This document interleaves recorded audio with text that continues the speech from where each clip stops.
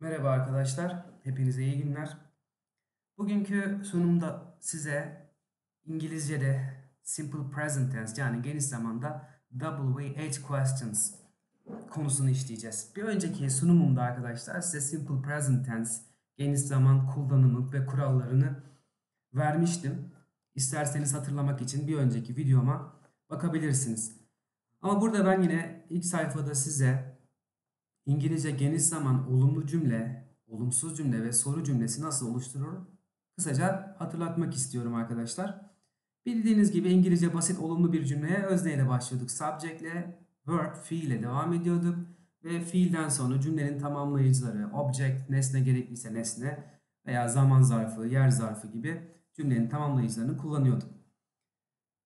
Olumlu cümlelerde öznemiz I, we, you, they olduğu zaman fiilimiz yalın halde kullanılıyordu. İngilizce'de e, geniş zamanda ve öznemiz he, she, it üçüncü tekil şahıs olduğu zaman da fiilimize s takısı geliyordu ve bu s takısı da belirli kurallara göre geliyordu. Biraz önce söylediğim gibi bir önceki videomda bundan bahsetmiştik. Olumsuz cümle yapısına baktığımızda bir cümleyi olumsuz yapmak için not olumsuzluk eki kullanıldığını ve bunun bir yardımcı fiile geldiğini biliyoruz.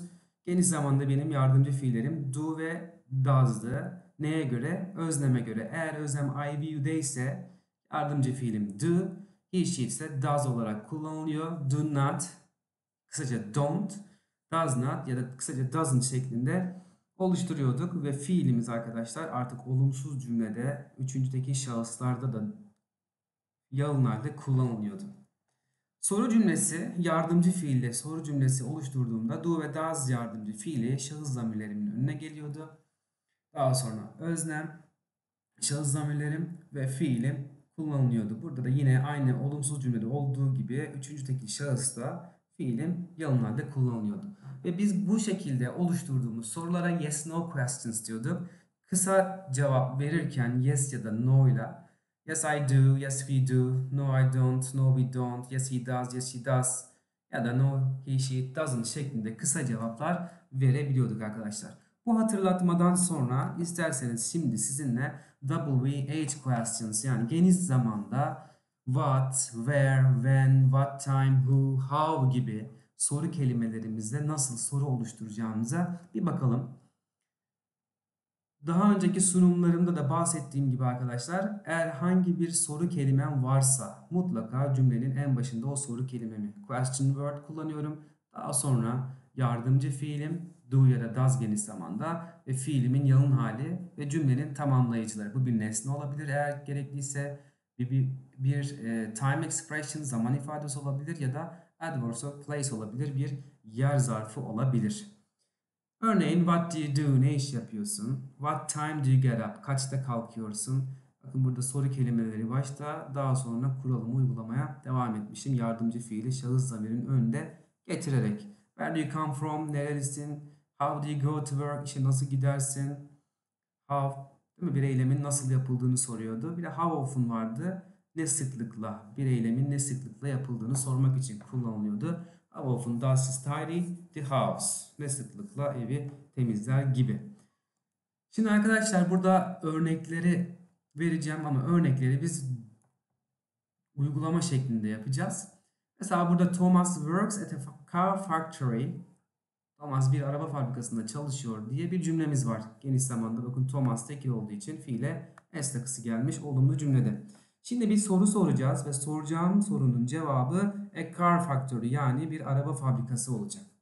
O zaman ben neyi sormam gerekiyor? Tom'un nerede çalıştığını. Biz nerede sorusunu where soru kelimesiyle soruyorduk İngilizce'de. Bunu en başa yazdık. Daha sonra bir yardımcı fiil kullanmam gerekiyor. Do ya da does. Özlem Thomas olduğu için bakın yardımcı fiilim ne oluyordu tekillerde? Does olarak kullanılıyordu. Where does Thomas work? Thomas nerede çalışır? Cevap at a car factory. Bir araba fabrikasında. Ya da bir soru soralım. Cevabı Thomas olsun. Burada neyi sormuş olacağız? Özneyi. Özneyi de biz who soru kelimesiyle soruyorduk. Kim? Who works at a car factory? Arkadaşlar bakın bu soru cümlesinde herhangi bir yardımcı fiil yok. Neden? Çünkü yardımcı fiil bir şahıs zamirinin önüne gelir. Yani öznenin önüne gelir. Ama benim zaten bu soruda soracağım öğe cümlenin öznesi. Özne olmadığı için ne yapıyoruz biz sorumuzu? Aynen Thomas kelimesinin, Thomas isminin yerine who soru kelimesini koyuyoruz ve cümlemize devam ediyoruz. Who works at a car factory? Kim kar fabrikasında, değil mi? Araba fabrikasında çalışır şeklinde. Burada fiilim s takısı aldı. Neden? Biz öznenin tekil ya da çoğul olduğunu bilmiyoruz. O yüzden fiilime s takısı getirmek zorundayım arkadaşlar.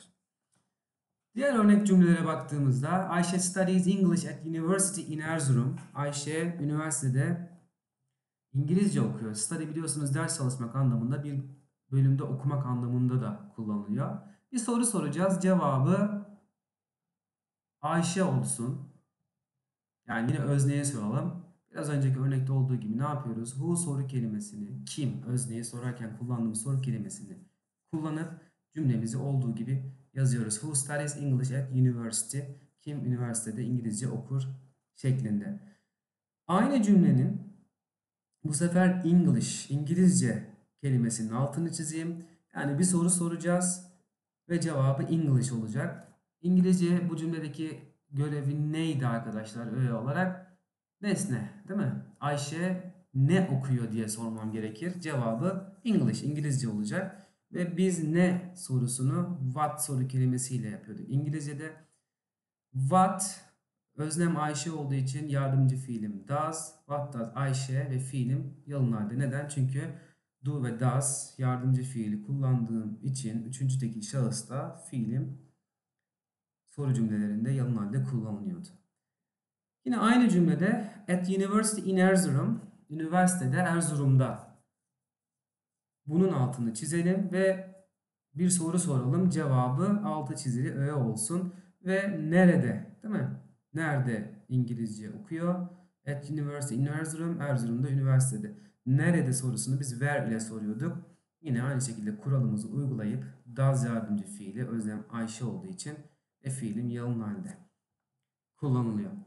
Diğer bir cümlede I go to work by car. Arabayla işe giderim. By bus otobüsle, by train trenle, by taxi taksiyle. Burada on foot arkadaşlar yürüyerek demek.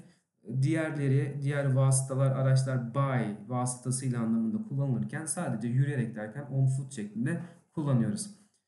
Evet sor, bir soru soracağım ve soracağım sorunun cevabı by car olacak arabayla. O zaman bir eylemin biz nasıl yapıldığını soracağız. Bir eylemin nasıl yapıldığını how soru kelimesiyle soruyorduk. How do you go to work? Burada I go to demiş, ben giderim demiş. Biz sorarken sen diye soracağız. How do you go to work? Nasıl gidersin işe şeklinde. Diğer cümlemde she usually brushes her teeth twice a day.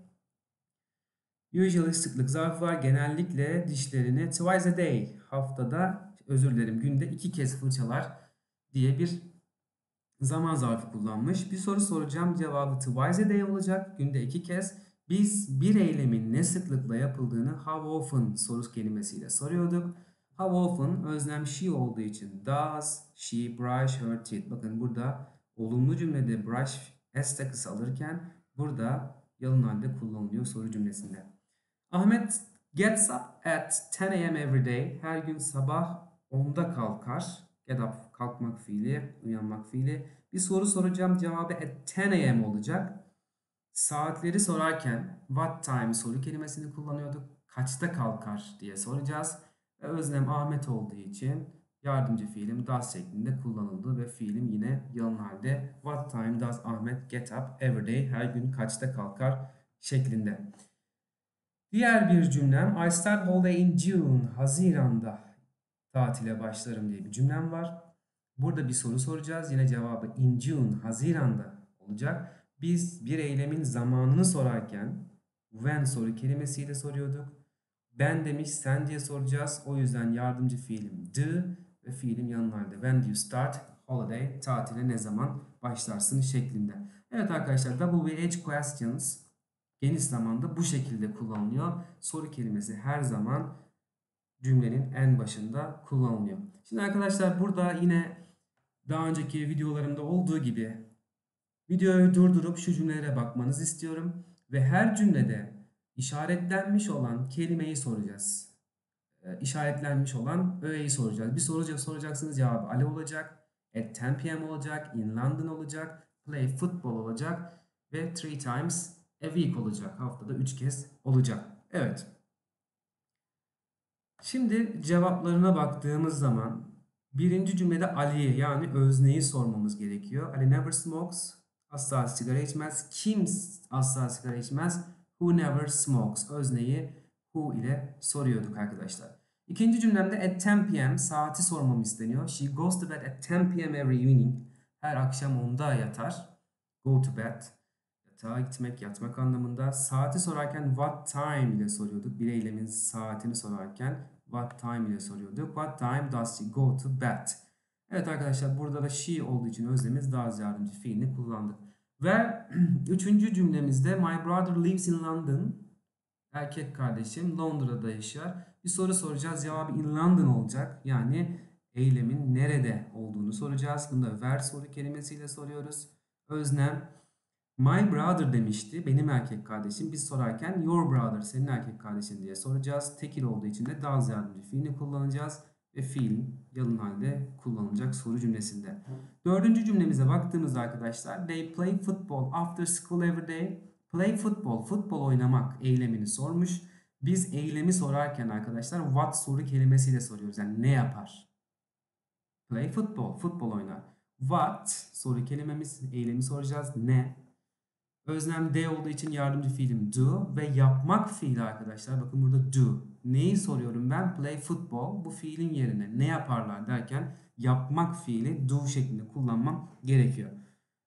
Ha ve şöyle bir soru ortaya çıkıyor. What do they do after school every day? Her gün okuldan sonra ne yaparlar? What do they do? They play football. Futbol oynarlar.